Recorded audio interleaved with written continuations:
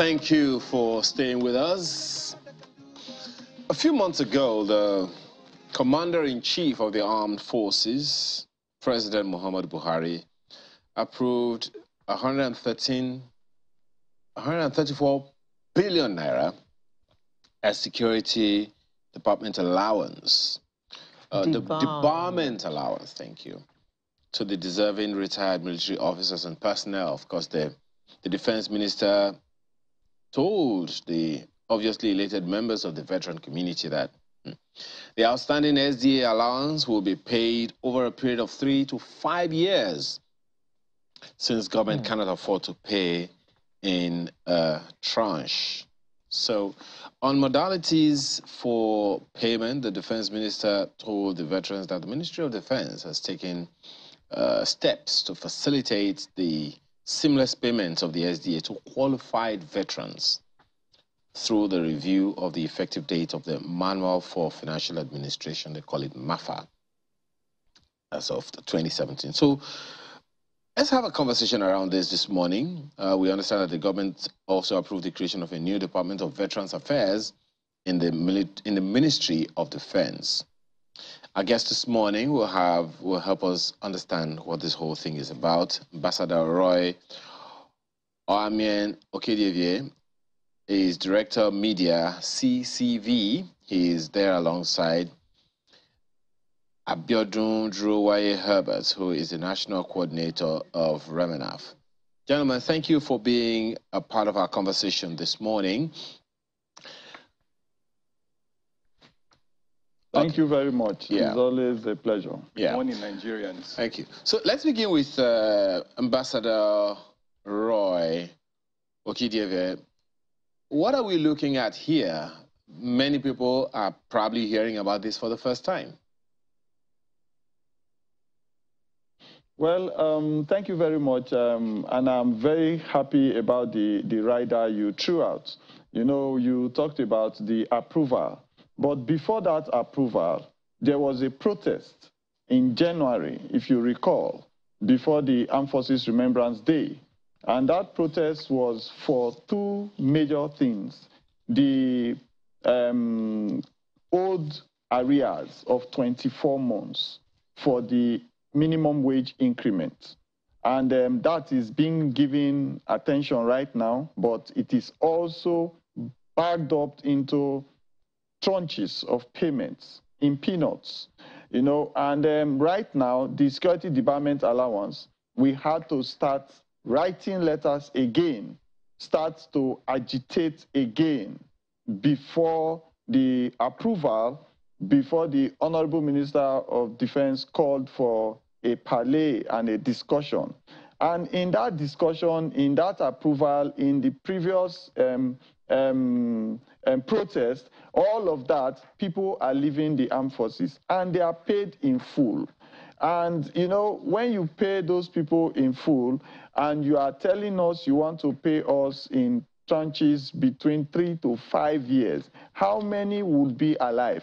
Because this catchment that you have right now is comprised of the elderly, those that trained and commanded the ones that you are paying in full right now. So we didn't, eh, we are not able to factor in the um, understanding that got to such resolutions, you know, and the minister promised on that day that he will go and have a discussion and get back to us. We have written a letter to him as a reminder on how it was resolved between three to five years. There has been no response. Okay. That's uh, at least now we know what the issues are. Uh, you mm. want to add to it, uh, Mr. Droye Herbert? Yeah, uh, thank you once again, uh, Nigerians and my distinguished comrades. Um, it's a pleasure to be here. Actually, what my colleague had said is correct, very correct. Um, we had written letters, series of letters, and like you mentioned, the, the, the situation we're right now didn't just start today. Um, we started this agitation as far back as May 2020 when we're you know, excluded from the debarment allowance. Uh, what they told, that, uh, told us at that time was that only those who retired from 2017 till date will be qualified. And we said to them that we all served this nation. And if security debarment allowance is an allowance payable to all veterans, retired military veterans, to encourage them and to debar them from using the skills that they acquired in the course of their service to this nation against the state. How then would you say some section are entitled to it while the others are not entitled to it? Just a second, Ambassador. It doesn't just make any sense. Just, just, just, and so when we are, Mr. Duruwai yeah, so, just, one, just one second, Mr. Duruwai Habets. Yes. Perhaps a good place to, is a good point for us to understand exactly what the security department allowances are. That's right. And that was what I just said. Debarment allowance is an allowance payable to every veteran on retirement, right? And then, I mean, it is to debar us and discourage us from using the skills that we acquired while serving against the states. You know the insurgency, you know, everywhere in the country today. There's a tendency ah. that our, most of our members may be frustrated, and then, you know, terrorists may buy into, you know, uh, uh, uh, you know, into them and invite them to give them some kind of level of training. And of course, we have a lot of, you know, skills. I mean, with officers and men that have gone through series of training in this, in, in this country, whether at home and, and, and abroad as well. So it is to debar us from using the skills that we acquired in the course of our service against the state. This money should be paid in bulk so that you can use it to set up business. And so there won't be any need. There won't be any need for you, you know, uh, you would rather be, uh, uh, be attracted to any influence, ex, mm. external influence that will make you to use the, the, the, the skill that you acquired against the state. That's what the, the allowance is, is meant okay. for. Mr. Duruwai Habets, um, so if, if you get that money in bulk, it is assumed that it will debar you from going to sell your services or sell your expertise to other people who are working against the state, right? So. Absolutely. So. Yes. So, so those who collect that debarment uh, allowance and still go and sell their expertise what happens to them? First of all, who's checking that nobody is doing that? And if the checker finds that, yes, there are one or two people, well, there are a number of people who are doing it, what happens to those people? Of course, they, they face the wrath of the law. I mean, recently, uh, uh a, a, a, retired or discharged soldier was uh, arrested, and it's all over the media. So if you are caught doing that after being paid such money, then you're on your own. You face the wrath of the law. And we are saying that we retired earlier. And those who are retiring, even you know, uh, as we speak, are being paid this money in bulk. So why would you need to spread our own payment, you know, between three and five years? That's not acceptable to us, and that's not fair. And that's what we're saying that if this money is going to be paid, then it should be paid the same way others that had been paid before us are, are being paid. And then, of course, they also said, you know, uh, that there's going to be a verification exercise before those who are qualified will be entitled to be paid. And we said no, because last year, uh, December, uh, we, we held a nationwide protest, and it culminated in Abuja here in January on, on 5th. And then it was about the old 24 months of arrears of the minimum wage.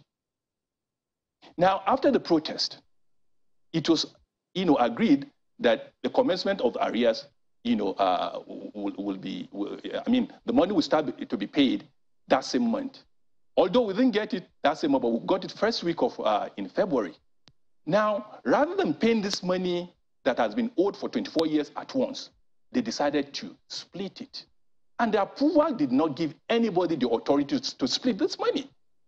You know, in this country, there is enough for individual to steal. But when it comes to those who are, you know, are legitimately entitled to their, uh, their, their allowances, they would, they would find excuses like, there's no money. Who told you there's no money in this country? And that was why I said there's always, you know, enough for individual to steal. But for us, you, have, you, you begin to hear all sorts of stories.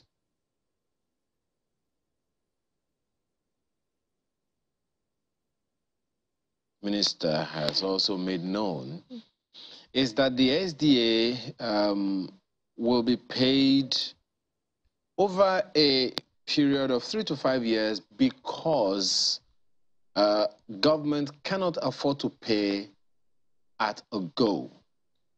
What's your understanding of that? Is that uh, a sentiment you share or something uh, that you refuse to understand, with government? Well, um, to, to us, as the veteran community, we, we see every day where this same government give palliatives to other countries. We, we, we see it. There is on Vera News. We also know that there are certain persons that have been found that have diverted large sums of money. And those cases have not gone anywhere. We are also aware that certain um, diverted funds have been returned back to the country. We are aware that the country consistently borrows money from the foreign investors and foreign loan um, banks. So, in all of these that we see, it is insincere to give us that kind of verdict. And how come those that are living now get the total payment? Why not backlog and say, wait for your time mm -hmm. and pay those that you are owing since they are also coming into the veteran community, they will meet the backlog being paid out to others as your set of retirement is captured. You see, these things are just, it's not rocket science, it's common sense. Let me tell you something that um, is part of the problem. Part of the problem is that the Veteran Affairs Department that you just mentioned right now, it's supposed to be populated by veterans holding reasonable, actionable desk and responsibilities because they feel the the impact on their community. If you look at the Nigerian Legion also, which is also constituted as a veteran body, it has a larger part of its constituent members as raw civilians. They are not veterans. If you see some Legion people in some places, ask them to show you their discharge army certificate. As I speak to you, they are in guard duties in so many places, wearing the Nigerian Legion uniform and badges ask them to show you their military discharge certificates. So once all of these um, responsible desks have been polarized, there is no voice, there is no place, no platform for the veterans to speak.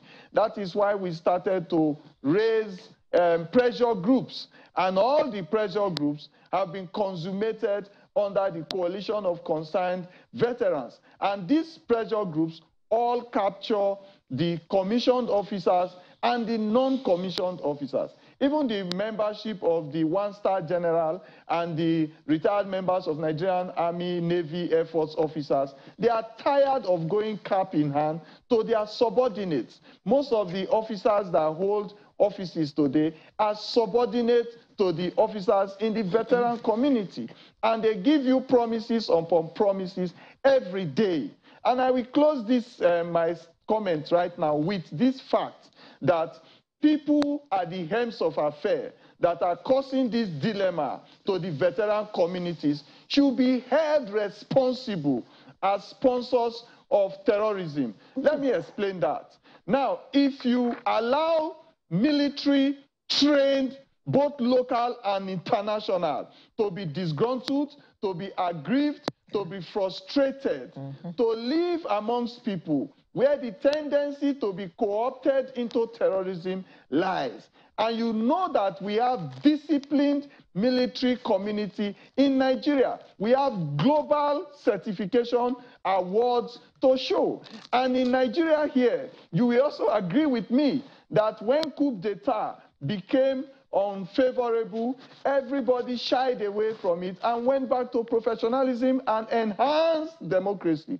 Now, if some certain military officers in service and civilians in responsible decks of veteran affairs refuse to see the relevance of the security debarment allowance, you are also encouraging them to support the terrorism that is going on in the country. So invariably, you are looking at that lacuna and you are not seeing the importance of closing it up.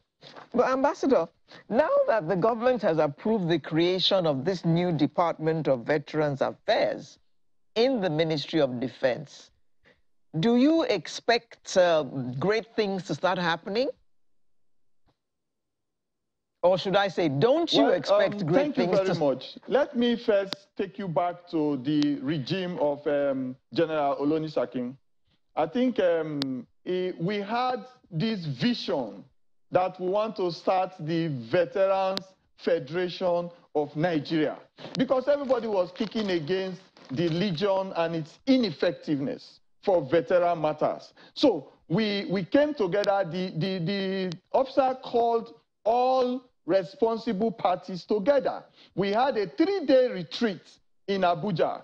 And in that retreat, we raised up committees, different committees, lobby committees, this committee, that committee, headed by chairmen and secretaries. I'm a secretary to one of the committee.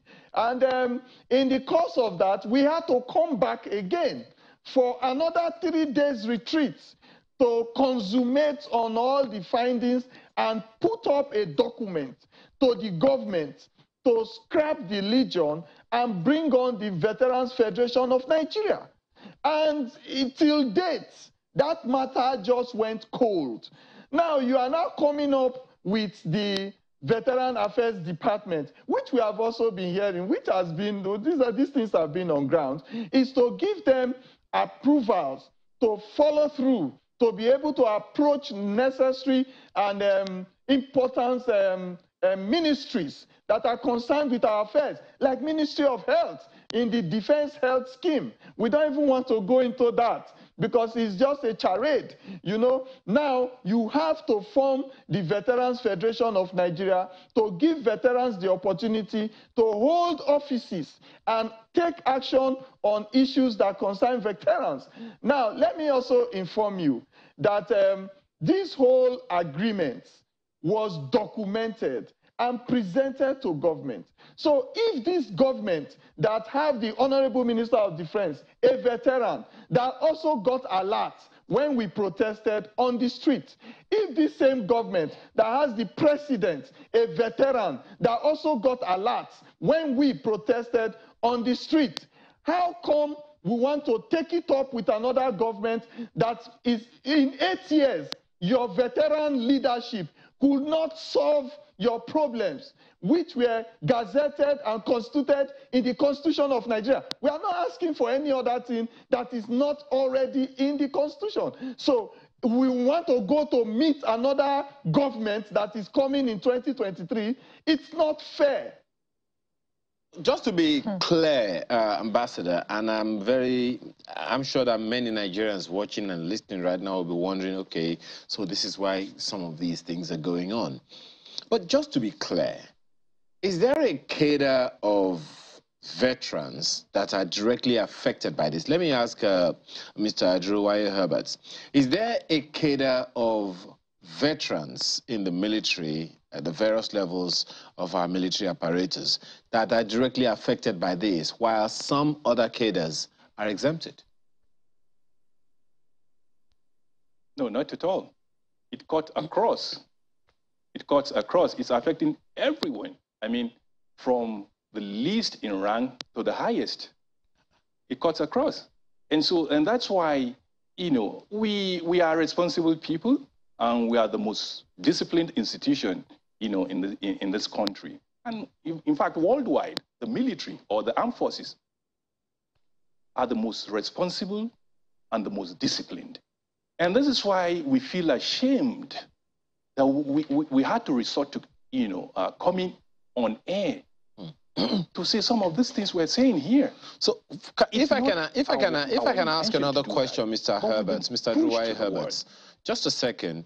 Uh, for how long has this been going on? Because when you say it cuts across, I'm assuming in my head right now that it's affecting the likes of former General Obas well, General Obasanjo, uh, General Babangida, General mm -hmm. Abdulsalami Abubakar. If is that in any, is it possible that that's what you're saying? Absolutely so. And it's quite unfortunate because some of us keep wondering. When we had this uh, nationwide uh, protest last year, mm -hmm. and it culminated in uh, Abuja, when we you know, protested to the Ministry of Finance as well as the Ministry of Defense, no one in this country would pretend not to, to, to be aware. And so we are surprised that we have people like those you mentioned who could you know, sit back and feel comfortable that an institution where they had served you know, are bringing you know, issues that ought to have you know, been you know, are resolved uh, internally out to the public. I mean, in the public. If it's this is happening to... this is where to, we find ourselves. Yeah, if this is happening to veterans, uh, uh, Mr. Druwai Herbert, I'm wondering how... Just one second, if you can hear me. I'm wondering how you feel when you hear that some of your officers, whether it's that there are rumors or there are things that really did ha happen, that some officers, uh, uh, you know, on the fields are protesting that they are not getting paid. So if this is happening to them while still in office, uh, while see, still in service, how in the universe are they gonna, what are they gonna do knowing that while in, in service, this is happening to them, what will happen to them when they leave, when they, they are no longer serving? Absolutely. You just hit the nail on the head. And this is what we keep telling them, that look, the way you're treating us is not going to even encourage those that are serving at the moment. Because when they look back and see the way we're being treated, and you know, putting all the sacrifices, as we speak, they are everywhere in the northeast, northwest, where there are insurgencies, where there are terrorism. These people it is the reason why we're here today. Just take a look at it. Remove the armed forces from the equation or the project called Nigeria. We won't be here discussing. As we speak now, there are states that some of the local governments are, had already been captured by the terrorists. Just, just imagine that there is no armed forces in this country and other security agencies. How will we be here discussing these issues? And we are saying that if there's one segment of the society that must not be taken for granted, it is the armed forces. Because without us, John, I mean, uh, from Ambassador, no will survive. Just, just a second, uh, so Mr. Druwai Roberts, uh, Druwai Herberts. What's the payment system? Uh, the, because to the best of my understanding, uh, the payment platform or payment system used for public officers at the federal level is not the same thing being used for the military. The military is exempted from IPPIS, for instance. Is there a problem with that payments, with the payment system that the, the, the military is, that's being used to pay military officers right now?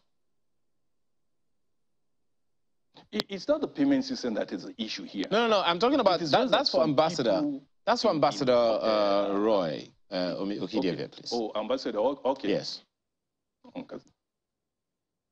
Okay, thank you very much. Now, you know, if we talk about payment system, when the, the military was taken out of the IPPIS or something like that, you know, you can recall that the military pension board is solely responsible for disbursements. So the military pension board has responsible officers to handle the Army, Navy, and Air Force. And they have the database. Even when a soldier veteran dies, he is struck out of the, pay, the payment plan.